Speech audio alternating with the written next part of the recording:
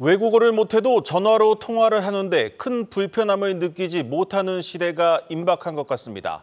통화 내용을 인공지능이 실시간으로 동시 통역해주는 서비스가 출시됐습니다. 이서우 기자입니다. 국내에 거주하는 외국인 켄달 씨. 구청에 전화해 모국어인 영어로 필요한 서류를 요청합니다. 직원에게는 한국어로 통역돼 전달되고 구청 직원의 대답은 영어로 통역돼 켄달 씨에게 전달됩니다. I need a certificate of alien registration for a job application, and I'm calling to ask how to issue that document.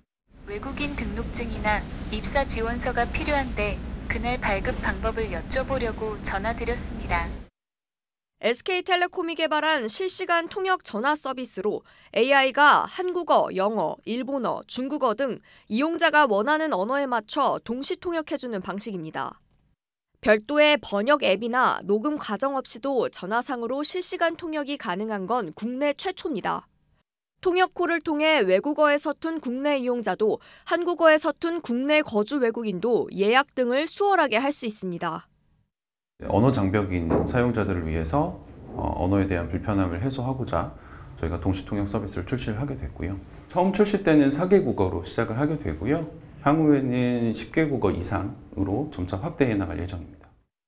지금은 아이폰에서만 해당 서비스가 가능하지만 내년엔 안드로이드 폰까지 확대하고 통역 가능 언어도 4개에서 10개 이상으로 늘릴 계획입니다.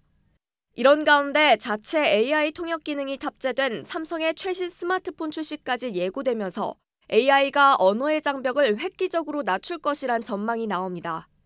한국경제TV 이서우입니다.